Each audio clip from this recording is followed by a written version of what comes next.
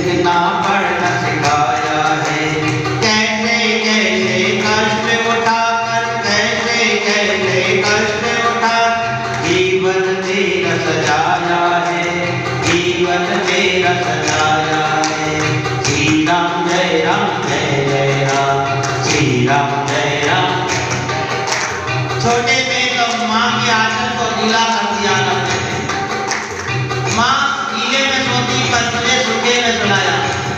महाराज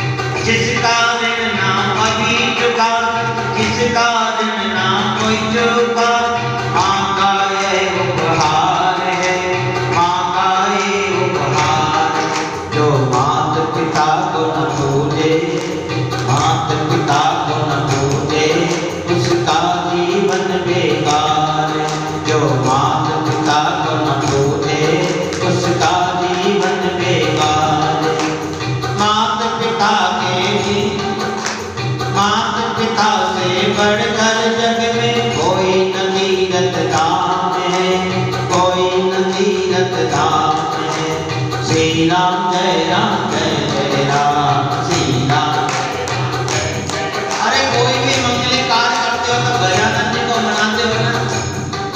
अरे वो गजानन जी प्रथम पूजनीय माँ बाप की पूजा करने से ये रखना।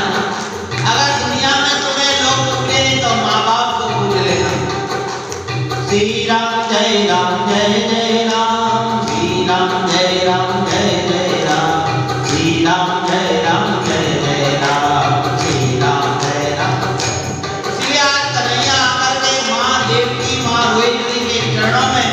प्रणाम करता है। कहते हैं बड़ों के चरणों में प्रणाम करने से चार चीज़ें मिलती हैं, ध्यान रखना। आयु बढ़ जाती है, विद्या मिल जाती है। यश मिल जाता है, बल बढ़ जाता है। और दुनिया में आपकी कीर्ति बढ़ जाती है। इसलिए माँ बाप वड़िलों का आशीर्वाद लेने का प्रयास करते श्री राम जय राम, जय जय राम। श्री राम जय राम, जय जय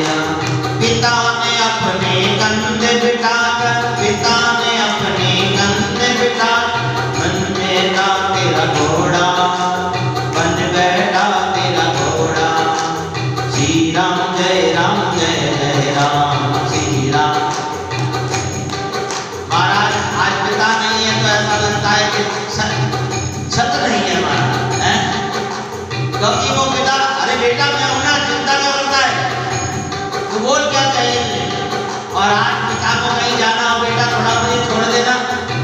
पिताजी, मुझे लेट हो रहा है देखो, एक काम करो। चलो, चले जाओ।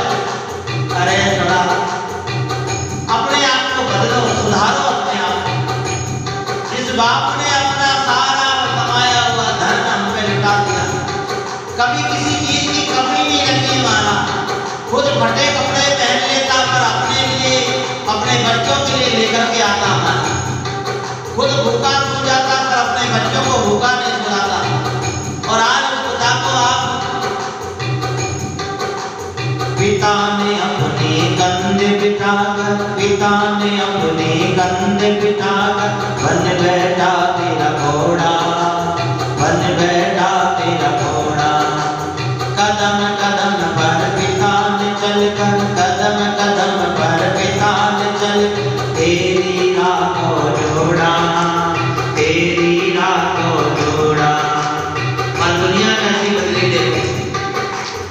जीवन साथी के